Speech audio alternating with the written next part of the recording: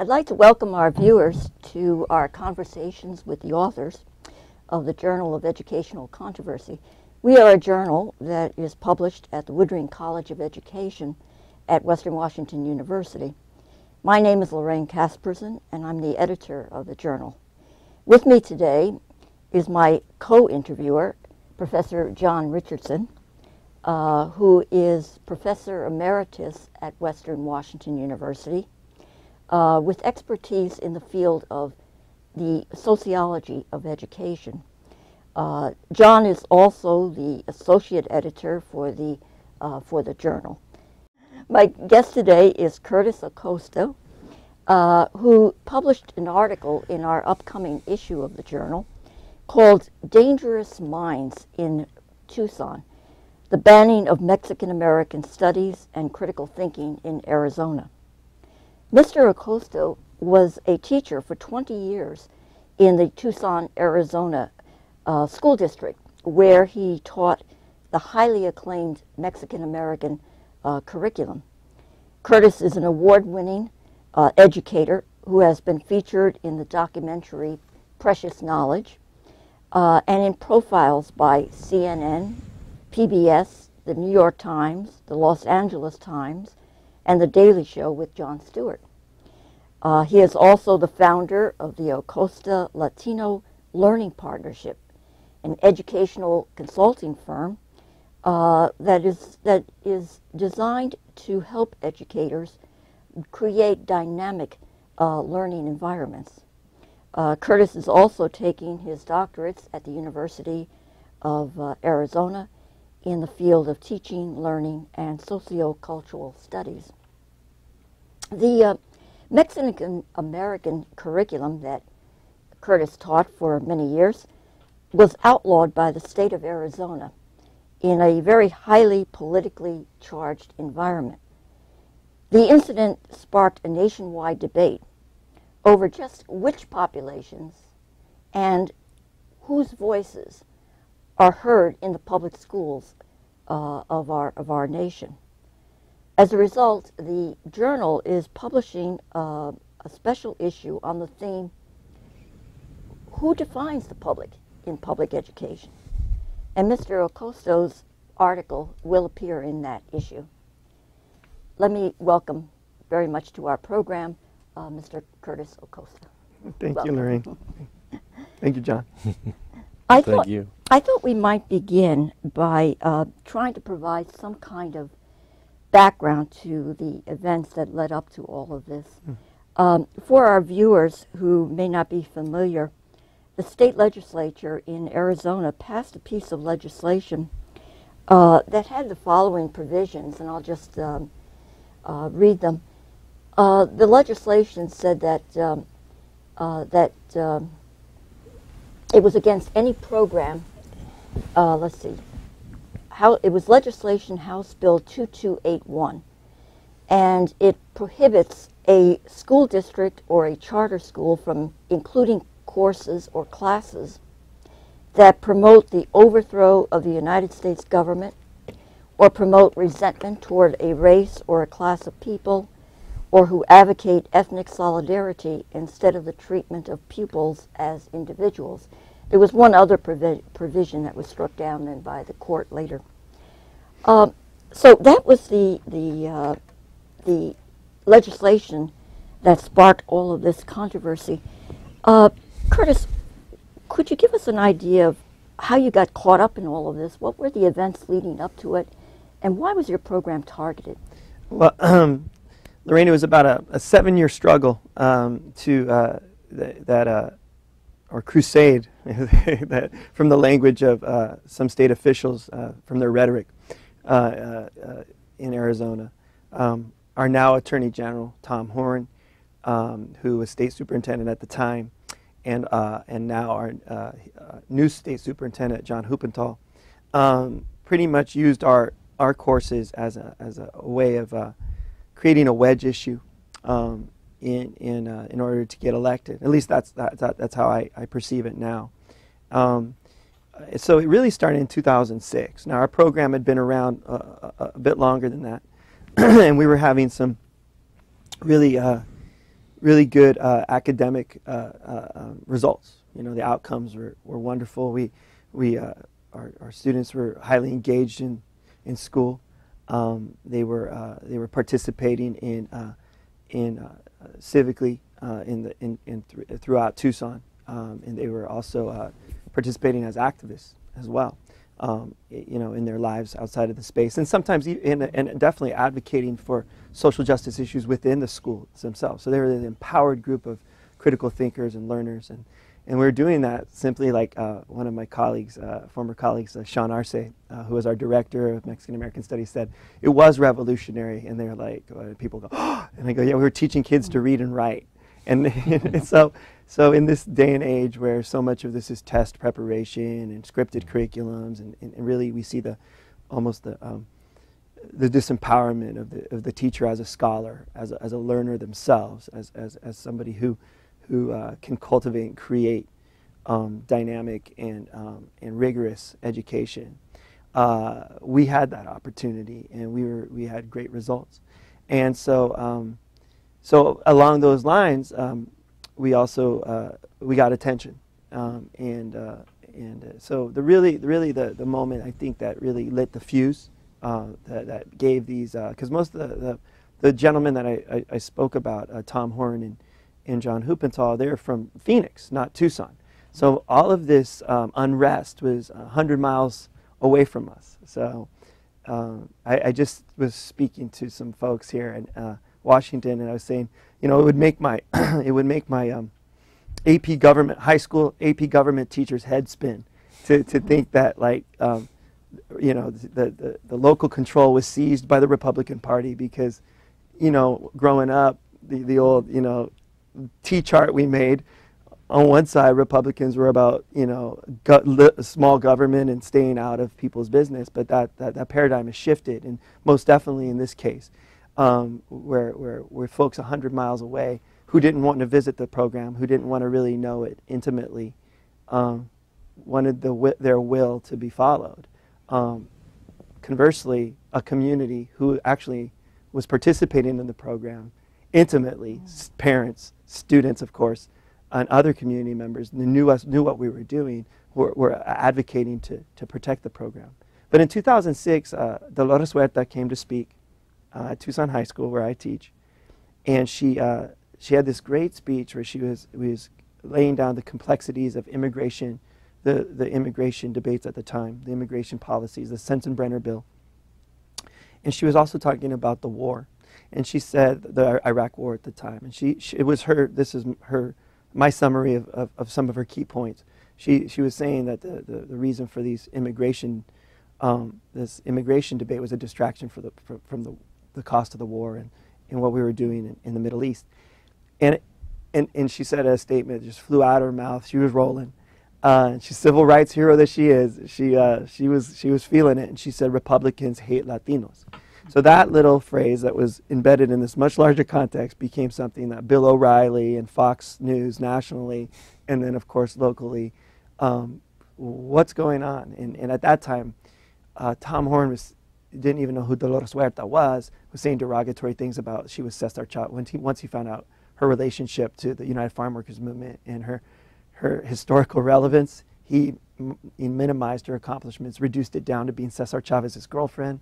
You know, anything far, you know, all this stuff far from the truth and, and really derogatory type of, uh, of, of, uh, of, of, addressing uh, a civil rights hero. And, uh, but that was the moment. So Tom Horne came to Tucson um, to give a counter speech. And uh, he had his assistant superintendent, uh, Margaret Garcia Dugan, um, give a speech. And um, he also gave a fax of lists of things that the students could and couldn't do. The students had asked for a Q&A, a sit down with their state superintendent. You would think that that would be completely reasonable. He is their state superintendent. Mm-hmm. But um, he, he forbid that. Uh, he forbid signage. He forbid any type of uh, backpacks couldn't come in, nothing. Like the students were to be escorted into this space, sit down, and be very domesticated, listen, and then leave his leave leave his space, which ironically was their space, their auditorium, their high school. Mm-hmm. And the students were upset about that, and they they launched a pretty in, in, ingenious little plan, where they uh, they wore on white T-shirts, "You can silence my voice, but never my spirit," and they wore outer clothes, layers that um, that you all know in the Northwest real well.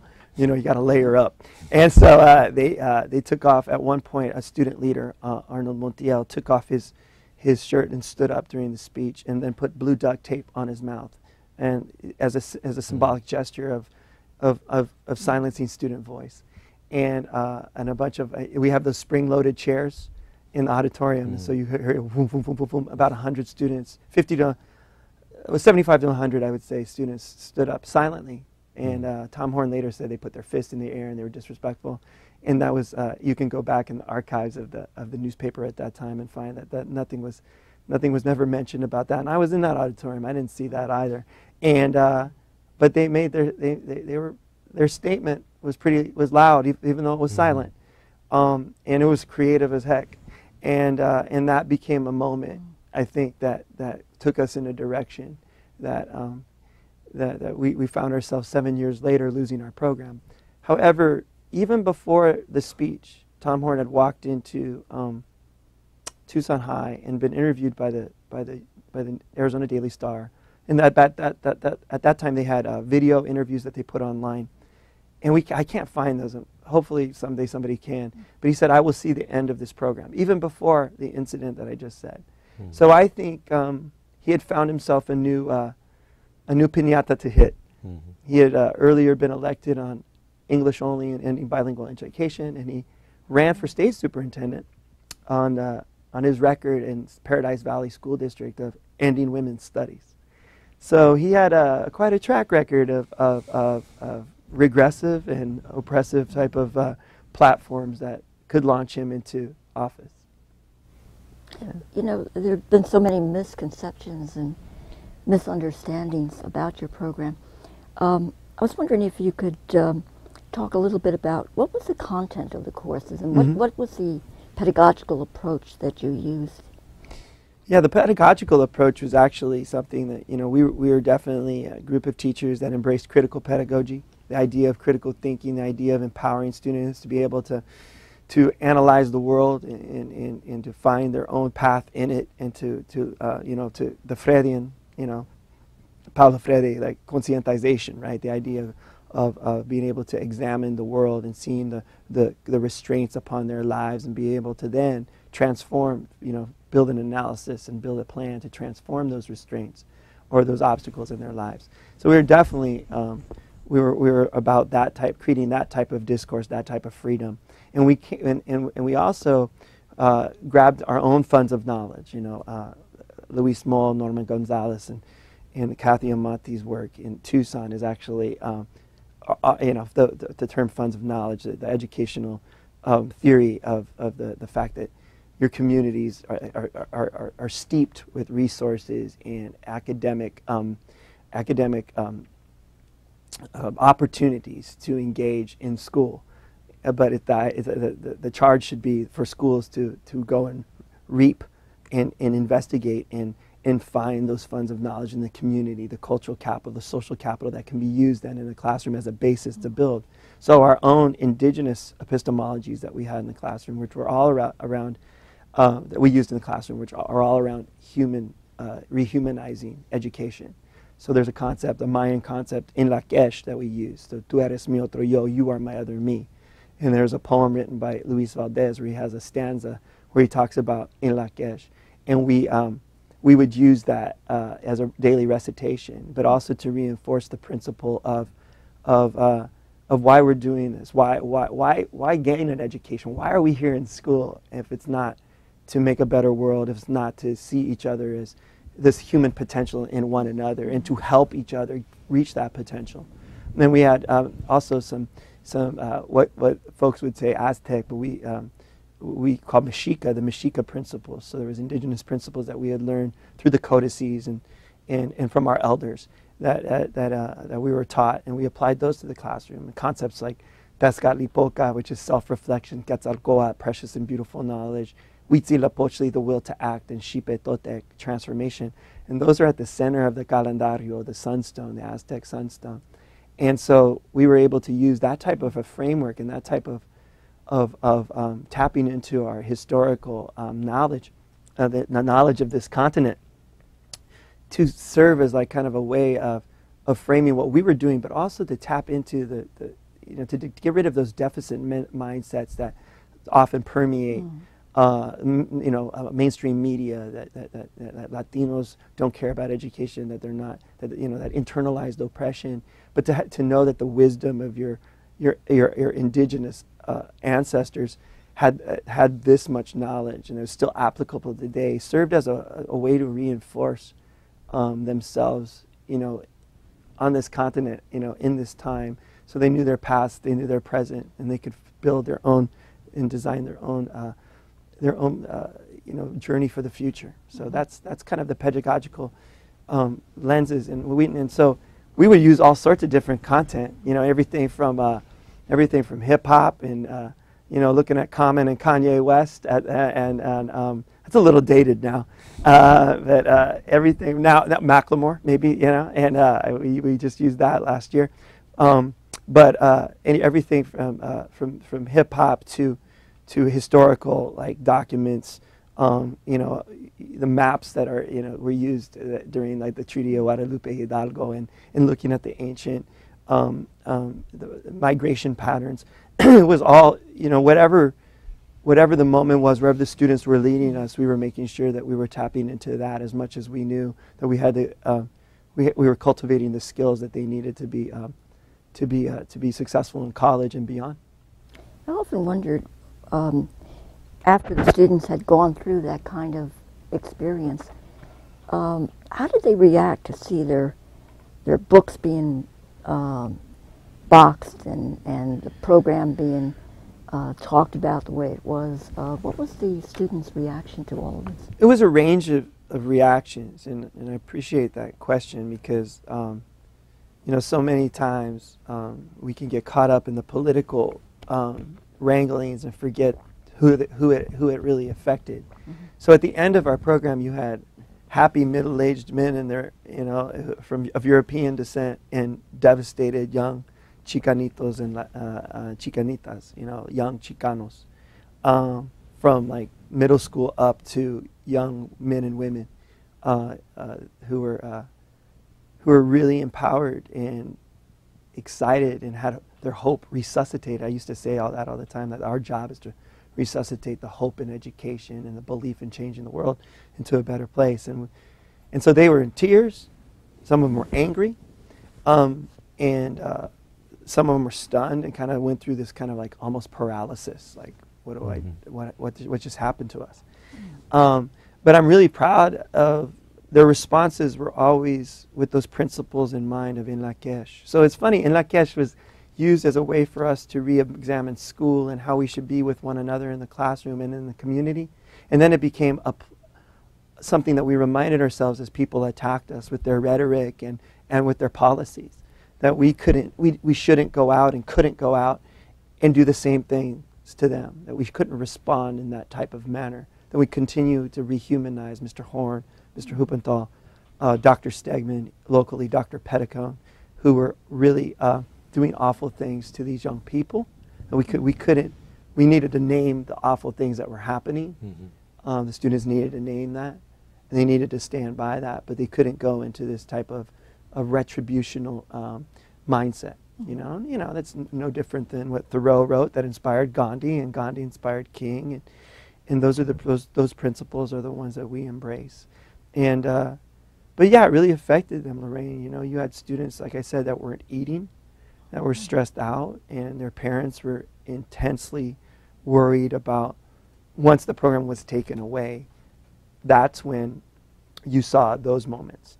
Up until that point, and it took a little while for us to reestablish ourselves and figure out how to respond. But up until that point, for about five or six years, it just became something the students learned. Is another thing they learned how to participate democratically. They would go to school board meetings. They would voice their opinion to the to the uh, school board during the call of the audience religiously every two weeks. There would be representation. Anywhere from 50 to 300 folks would show up, depending on the severity of the agenda. but they were always there participating. They knew who the school board members were. They knew how they were elected. They were learning. They were getting their civics class. Their, their, their it was better than a, any AP government class that I had, right? And and uh, and they were living it. Um, so at that point, when when the, you know they, they, they knew to put like the, the concept of Huitzilopochtli, they need they needed to put their their um, their beliefs into some type of action and how they formulated that. You know, we we could mentor it, we could listen to them, we could empathize, but we never, we, were, we, we weren't in a dogmatic group, you know, and uh, we weren't replacing one dogma with another. Mm-hmm. We were creating space for them to figure out um, how they were going to move forward in this world because that's what we wanted. Once, the, once they walked across that stage with that cap and gown, if they just had some other person's dogma in their mind, um, they were going to be just as lost after, after the moment of high school as, as, as, as someone who gets a test prep curriculum and doesn't mm-hmm. ever get to find themselves right now in the classroom and who they are as a human being and as a, and as a scholar and as an intellectual person. So we cultivated their sense of self. That was very much at the core. So they, we also watched them participate uh, through, through hope, their, their activism or their engagement. It wasn't all of our students, but it was many of them, mm. uh, became something that they did to to feel um, to to to um, to counterbalance that that hopelessness that so many times people feel and when they when they feel like there isn't any empathy or no one's listening to them in the political process mm-hmm. you know a lot of us are going through that nowadays and and we didn't feel that at in Tucson because we were too busy uh, um, working you know, you know mm-hmm. being active to to to wring our hands mm-hmm. I know there was a, a lawsuit that you were involved in and others were involved in. Um, what was the basis of that lawsuit, and what, where where is it right now? What, what is its uh, status? Yeah, a group of my colleagues and I, who, uh, you know, we were we had met with each other for on on Saturdays is how we got to to really develop who we were, at, you know, in the classroom. Um, how we shared this indigenous knowledge that was new to me um, how we deepened our socio-political analysis, how we deepened our own theoretical uh, theoretical foundations. We just met on the weekends with some the Caves donuts, uh, you know, and uh, and uh, it's a famous donut. Uh, and the the donuts went away as we got older, and we had to get you know the cholesterol. We had to watch, start watching those things, and it started to become a lot more fruit and yogurt based uh, meetings. But um, before we had professional development credit for that, we were meeting because we knew it was so nice to have compañeros in, in this type of work. And, um, and we were able to teach one another and learn from one another um, and grow together intellectually as, as, as a group and, and to become better pedagogues and, and hopefully better maestras and maestros for our students. So that group and then eventually became the same group of folks that, that, that sued the state of Arizona. So we uh, filed a lawsuit um, in 2010, in the fall of 2010. Uh, against against HB 2281, and uh, and uh, and then we added students to it, and that was critical because at the moment we we hoped that the teachers would have standing, um, but we didn't. But the fact that the students were were later adjoined onto the case, they had politi- they had uh, they had mm-hmm. legal standing, and so it went to the district court, and unfortunately, I mean tragically um, our the judge assigned to our case was the one of, was the federal judge that was lost in the Gabrielle Giffords assassination attempt. So it's interesting how Tucson, this nexus of mm-hmm. Uh, uh, of, uh, or convergence of this awful convergence of these two things met with uh, Judge Roll, uh, or Judge Roll's death.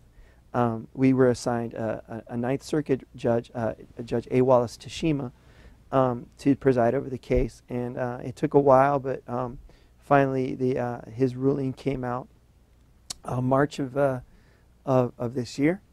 And, and we were unsuccessful on three, uh, they severed the law. You mentioned that earlier. Um, the one part that was actually um, found unconstitutional was designing curriculum for a particular ethnic group. So we, we actually, our advocacy, our, our, our own activism in challenging that state law was successful on one part. Now we're going to the Ninth Circuit uh, Court, uh, Ninth Circuit Court of Appeals, um, and uh, and we, that that was filed uh, uh, uh, within a month mm-hmm. um, in eight, this last April. Um, and uh, you know, Washington is tied to that, your state, because uh, Seattle University is has been uh, working on our appeal. Um, like, I mean, I'm so um, humbled by the amount of time, effort that that that school has given our case. Um, they're just firmly believers in it, and uh, among and they've put a collection of other legal minds together to help our, our attorney Richard Martinez as we go for the night uh, in front of the ninth, and that'll probably be a year from now, and we'll uh, but uh, we won't know for. Um, usually they assign from what the what our attorney tells us is usually they don't tell us like they don't tell um, the lawyers and the participants in the case till about a month out, um, but usually there's about a 12 to 16 month window. So a year from now, we might have some new news um, as, as we appeal, uh, where it's a First Amendment void for vagueness argument. For, so you're basing it upon First Amendment violations. Right. Yeah. Correct. Uh, John, do you want to join us with some mm-hmm. thoughts?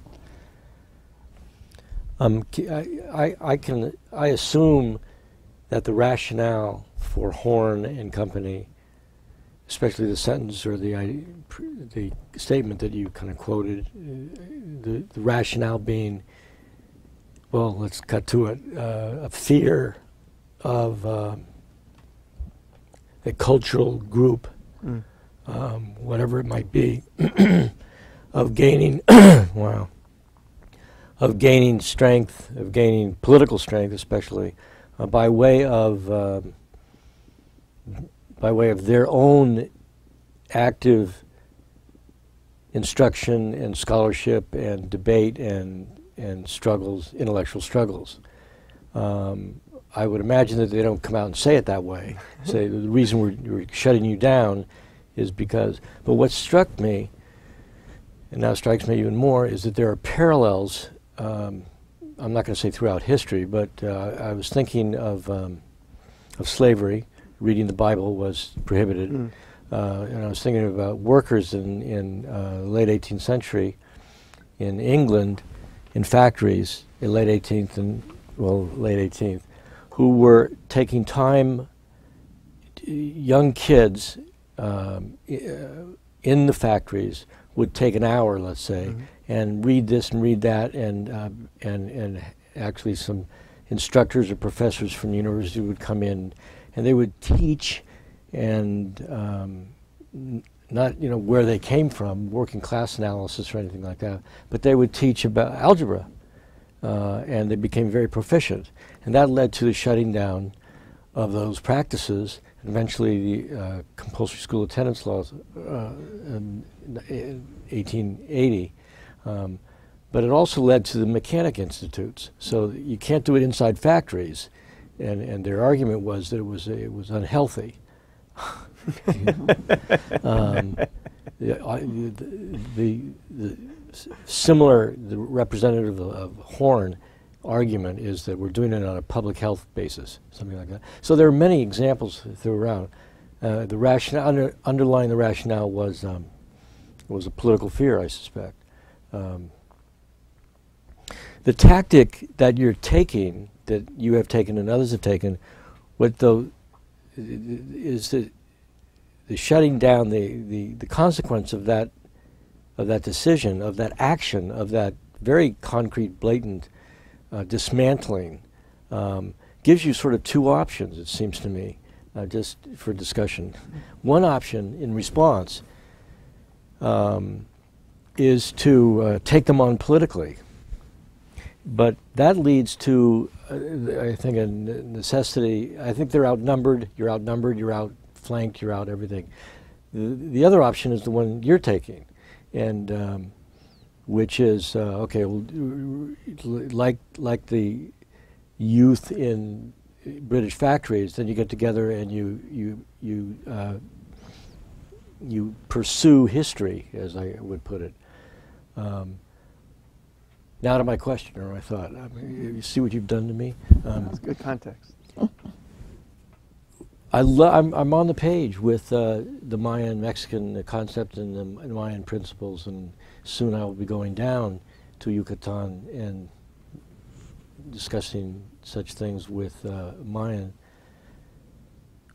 th- this may sound odd, but um, just for d- uh, for my, my thinking here, um, that's one path to take, and it's fascinating, and I it just I become absorbed by it. But the other path, if you will, is sort of juxtaposing those concepts. You might consider juxtaposing sociological concepts, just because that's sort of my my badge, um, of structural equivalence, of, uh, of uh, um, split labor market analysis, instead of instead of the path of uh, uh, common humanity. Mm-hmm.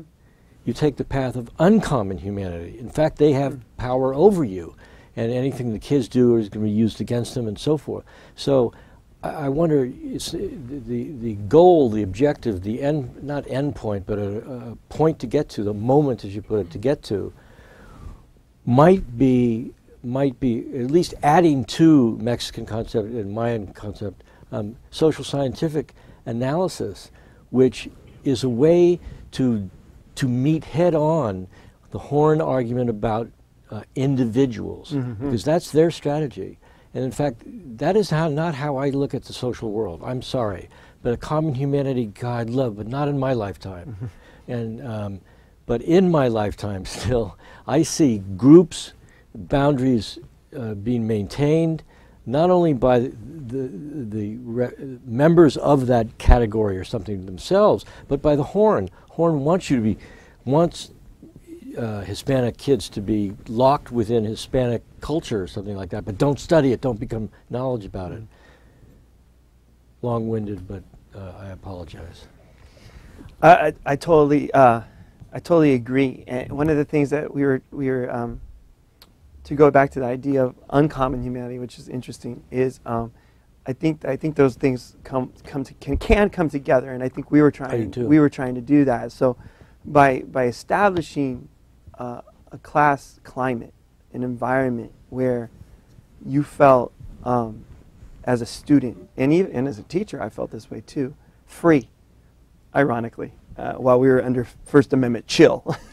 but but uh, but to free to to explore, your you know, you didn't have to worry uh, because if if if that In Lak'ech concept was rooted and and maintained and nurtured and grown amongst each other, you could be free to say whatever you wanted and without having any type of normal academic anxiety and fears we have as students many times when we sit in a Mhm. classroom. Mhm. And the hierarchies between teacher and student also um, feed that anxiety, right?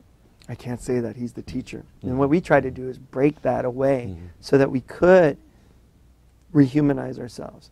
Through that rehumanization, we must critically analyze our world to where that's not happening. Mhm. And there's a whole lot of places to look. Mhm. I mean, it dramatically was put upon ourselves um, through this through these uh, legislative attacks and through the rhetoric that accompanied it. Um, but it was all. But it was even before that happened. We were doing that in the classroom Mhm. because there's inequalities and injustices and inequities everywhere, Mhm. and rooted right in our own schools. One of the things I love to do is ask my students like, "Where's how, how does this school happen? Where's school funding? You know, like how is this school funded?" And invariably, the whole class, or most of them, would say taxes. And I go, "Good. What kind?" And then silence, crickets, right? Mhm. You know, like we know some things. Mhm. We know enough to answer a question, but we don't we, we don't practice inquiry into how these systems are built. So that's a moment of connection. Mhm. They, we all had school in common. Like, how do you get on a bus and come someplace every day since you were five years old, or walk to every day, and everybody trusts it and moves, and you don't know how it works? Mhm. And that freaked them out Mm. because it's like something we just take for granted Right. you know? But are all schools do they all look the same i would ask you know? So those types of probing questions and then creating the cultivating their own and generating their own their own pursuit of their own inquiry that became the base those those were the, that's the basis of our the content of our classes. It came from the students inquiry. So they were looking at those moments of uncommon humanity And some, you know, immigration was always so. I mean, it's right there in, in our state, uh, and spe- specifically in Tucson, where we're close. We're 60 miles from the from the from the imaginary line, and uh, and the, so that that that that that imaginary line has real impact. The policy of that has real impact upon the daily lives of our students. You know, I'd have classes where a student would obviously be having a rough day, and I would ask them to go out in the hallway with me, either emotionally or anger or disengagement, and we would go and have a moment to go talk. And I'd, you know, occasionally it was trouble at home, and that trouble was dad just got deported, or I don't, we don't know where he is. Mm. That was a real life, everyday. I mean, not every day it happened, but a real life, everyday context for what we were dealing with. So the students could see that uncommon humanity in their lives and breathe it in the air in Tucson. And, and I, would, I would conjecture you can do it everywhere. I would Uh-huh. absolutely. I, I, what intrigues me is that um, that the students. Uh, I was a substitute teacher in Oakland Yeah. years ago, Yeah. and, uh, and like wow. And so, I, what what fascinates me, which is probably not the right word, it it it, it grips me, is that students. Uh, we all do basically, but students come to uh, uh, the preliminary s- pla space that they, and I say preliminary for the moment, is that they come to things by way of their personal experience. Now, just to play devil's adv- advocate for the moment, I would, I, I might suggest that personal experience has a, uh, has a f- is a powerful stimulant, Mm. uh, prompt, but it runs its course. And when that's an, another point, that to go from uh, their personal experience to the experience of almost negating their personal experience. And, um, be, and you can do that by way of metaphoric or analogical comparisons. You mean the other group? They were like mechanic institutes. Their books were taken away from them. So you, they begin to move out of their personal experience and to a broader analytical understanding. Absolutely. I mean, i i the anecdotal is powerful, you know, and, I, and I'm a personal believer in, in, in, in empathy. And so the Mm. key to empathy, we would talk about this in the classroom because, you know, people are like, well, that's not got to do with, you know, your literature content, and the skills and the standards. It has everything to do with it because if you're going to go and you're going to be a researcher one day and you're going to need to write and you, you learn, learn to write in my class, you're going to need to understand you're going to need to, to understand an issue so well um, so and, and create a, a, a culture um, where somebody feels listened to right because Mhm. that's how you get qualitative data Mm. um, and then and, and, uh, and that goes through uh, numerous different disciplines too but i just wanted to use that one just to, for simplicity's sake um, so the idea of listening to one another being the key to empathy we would we Mm. would overtly talk about that because we would be looking at these stories, these counter narratives, as Mhm. Delgado and Stefancic said, uh, you know, right in critical race theory, the idea of counter narratives, giving voice to the silence, the the the, the, the uh, marginalized stories that, that, that don't typically make it to, uh, especially, especially public school, the public school canon or Mhm. curriculum. Um, how powerful that is in legal scholarship, but also how powerful it is in an education context.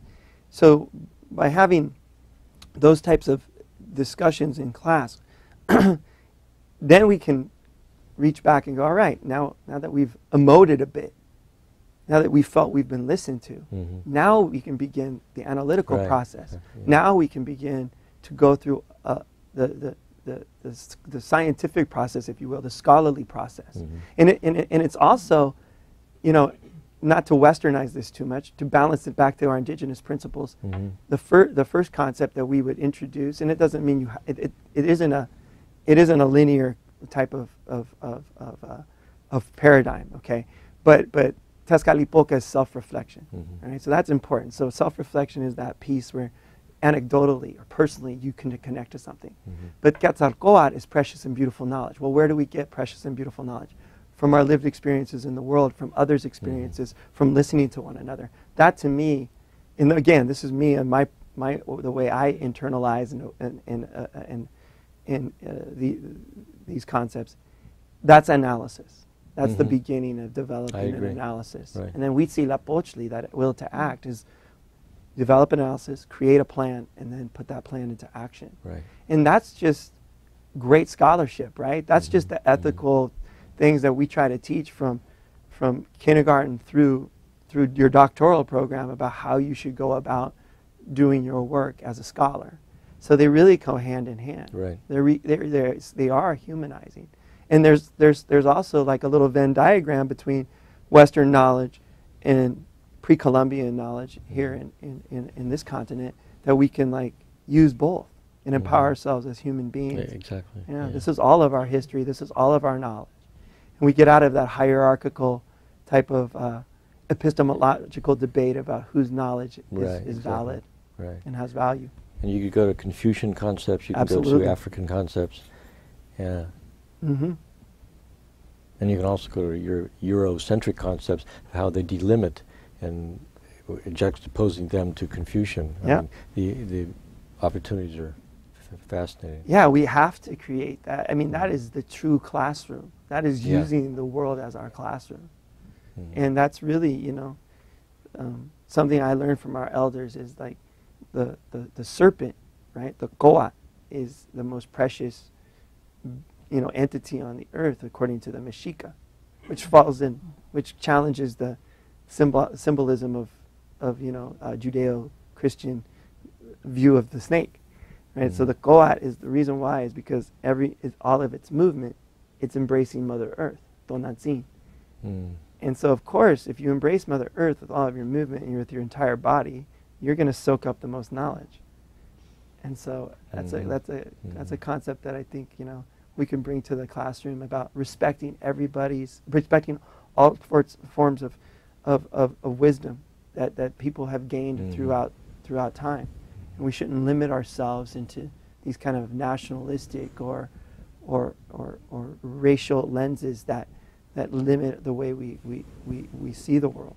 However, we must embrace those ethnicities on an equal level because there, there's wisdom from those Mhm. communities that, Mhm. that we need to, to put in the mixer.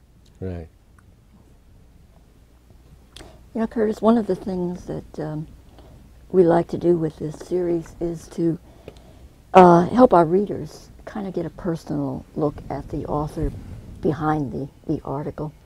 I was wondering if you could, uh, we have about five minutes left or so. Uh, I was wondering if you could share uh, with our viewers something about your own background and what led you into teaching and uh, your own background. Um, I'm, I'm a biracial kid. I'm not a kid anymore, but just for the purposes of feeling better about my long day ahead of me. Um, so I'm, you know, my mom's uh, my mom's Swedish, you know, uh, a couple generations back from Sweden, um, and then I'm uh, I'm, I'm Chicano, uh, Mexican American, and I think that growing up before we had the term biracial, we were halfies, we were we were whatever, we were uh, we didn't have names, but but the world chose what we were, um, loud and clear. But I think that impacted me in a number of ways. It, it allowed me to, to when I walked into a room, I always had to wonder how the people were going to see me. Was I not going to be white enough for this audience? Was I not going to be Mexican enough for this audience? And I shouldn't say audience, for this room of, of people.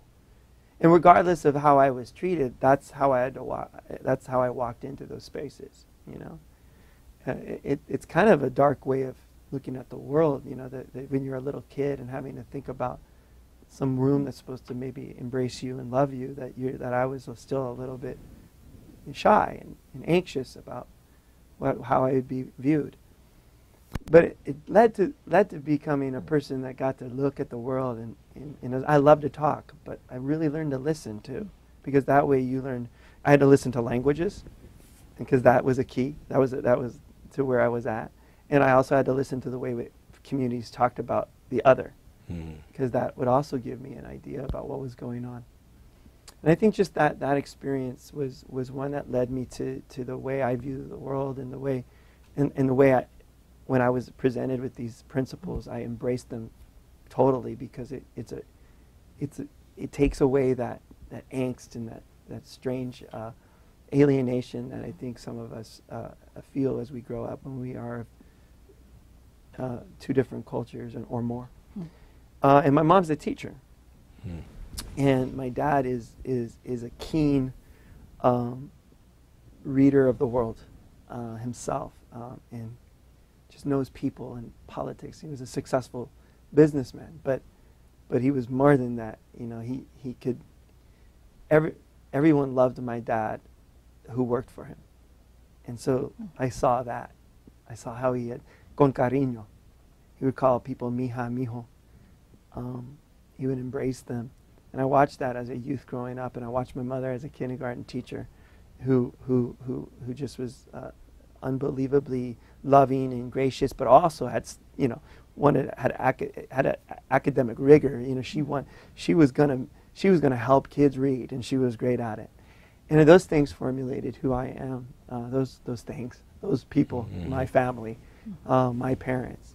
Um, and, and, and I think um, being a comic book fan, I stumbled upon this through my own doctoral program. Um, for years, I would be asked in different veins to go through my literacy background because that's a really good exercise for folks. How'd you learn to read and write? What did you read and write throughout? And I would, I would, I, I, I told, I would say all the time that I stopped reading. I was a voracious reader when I was a youth, and then I stopped reading in middle school. And then finally, I was in a class with Dr. Sh- Kathy Short, who is one of, on my on my committee, and I love her to death. She's a great teacher and such a smart woman. And and I slowed down. Kathy got me to slow down and go, oh no, I was reading comic books. So I really that social justice streak in me. I think it's all Batman's fault. I, I really do, you know, and uh, you know, I was getting there's there's something to be said about at least the time I was reading those those books. There's something to be said about standing up for folks that are that are hurting, um, who need an advocate, who need a hero. And I don't have a Batman complex. Don't don't get me get me wrong, uh, or a Superman complex, but um, but I remember going to Kathy. Oh, like we were literally like we looked at each other, and went, that makes so much sense. So you never know. So when you challenge, like if, if there's some folks out there right now that are watching this and they're like, well, I wish you'd stop reading those things. You, you, you never know how how mainstream media might might, might actually inspire some. Uh, hopefully, some folks think I've done some positive work, and I, I, I anticipate anticipate engaging in this in this struggle for equality and equity for our students uh, for the rest of my days. And um, but uh, you never know. You never know. What are you doing now? I'm. I- Uh, I think you've, I'm uh, supposed to be finishing my dissertation. So if my if if this is online and my committee members are listening, yes, I'm doing that. I am analyzing my data. It's taking a little bit longer, but um, I started. Uh, I had a need. I couldn't. I was literally banned from my curriculum. So um, I tried last year to teach without my 10 years of experience, uh, like because it was really we were banned from the curriculum that we had created as Mexican American Studies teachers. You were banned Yes, by, right. By the directives way- given to me uh, from our district. oh my gosh. Yeah, anything that we had created as Mexican American Studies teachers, we we couldn't. So I had this. All my depth of knowledge was pretty much chucked out, and I would have to start anew. So I gave that a shot, um, but it wasn't. It was. It wasn't good for kids. And uh, I mean, I tried really hard. And I think I still got them, you know, to to to write, and, and they still gained some skills. But it was kind of like feeling like somebody telling me, "Go dig a ditch." I'm like, "Sweet, I got this backhoe here. I can I can I can get that di- ditch dug. It'll be beautiful. It'll be strong. Be whatever you want it to be, and I'll be done in minutes." And they're like, "No, here's a spoon." And so it, it was. I was fascinated as an educational researcher because I'm like, "Oh, let's watch." At, at- at me as a test case, so I kind of was outside my own self, going, "Let's watch him struggle without his curriculum. You know, let's see how much of his pedagogical and how much of it's curriculum." And really, what we, what I, what I found out, and I wasn't really doing a study, but I was still studying, still reflecting, still practicing Tezcatlipoca. There's a real marriage between an, a learner, an educator, and what and and, and, their tools. It, it's like Mhm. Picasso and paint and a canvas. Uh, it's like uh, Rodin and in in in in in, in, the, in, the, in the marble. I- When you take one of those elements away, it, you suffer. So I decided to try to take this where, where can where can I be effective now? And so I'm I'm uh, doing education consulting work and um, just starting my my, my business, and uh, it's b- designed around empowering s- teachers to feel this about themselves, where they can they can have the mindset of tapping into the the, the community and the, the resources and the cultural capital of the students to, to create empowering spaces that are rigorous and filled with academic uh, um, uh, achievement. And, uh, and I'm, I'm visiting, I've been, uh, I've been fortunate enough to have some jobs in uh, Connecticut and to South Dakota. I'm going to New Mexico uh, next month. Uh, but um, it's, it's, it's, a, it's, a, it's a wild world out there. And I just, it feels good um, to know that people are embracing these concepts that are that are currently banned uh, in Tucson at home. It's it's a it's the best type of retribution and revenge is to Mhm. plant the seeds elsewhere and watch them grow, as my friend Jose and compañero Jose says in the film Precious Knowledge. I was often curious about why, how did they justify banning Shakespeare's Tempest? That was uh, that was that was a my move. Uh, I couldn't. Yeah, when they when they gobbled us dead that night on Jan- uh, January tenth, uh, two thousand twelve, I leaned over to my one of my compañeros and I said, uh, "I'm gonna get a Shakespeare banned tomorrow. Watch," because they had to. They had to if they were following their own resolution, which is Mhm. that shows you the absurdity and the, the absurdity Right. of the law. So the Tempest is is Shakespeare. I, I don't know why we don't teach the Tempest as a as like a staple classic Shakespeare experience for all United States of American students because because it's about contact. It's about Europeans coming to this. It's the only time this this uh, this continent, and and it's the only time Shakespeare wrote anything that was topical and timely, because he was a smart businessman. He wanted to write those comedies and those histories that made the queen and the king look all, oh yeah, we want more of that, right? You know, the- your your great grandpa, look at what he did. He was great. um, but but on his last play, he decided to show a little bit about how he saw the world, what was going on. It's fascinating. So it's about colonization. Mhm. It's about the enslavement of two of the natives.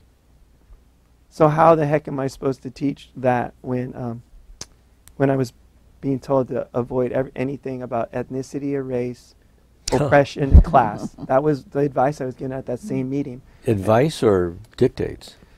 It, it started. That was the day after Oh. the gavel, so it was really nice at that point. Everybody was feeling that was. I knew that was going to be the most humanizing moment I was going to have with the administration in my Uh-huh. building because it was like everybody knew the injustice that was un- being unraveled. I mean, being unfurled in front of us. Yeah. So it was. It was. It was advice at the time that became d- edicts.